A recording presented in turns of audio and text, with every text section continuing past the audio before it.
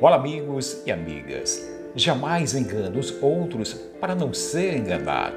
Seja sempre verdadeiro. Não minta, para que sua consciência permaneça tranquila e seu sono seja calmo.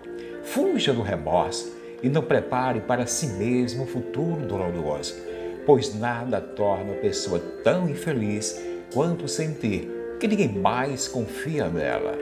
Seja sempre verdadeiro e há de angariar muitos amigos leais e sinceros.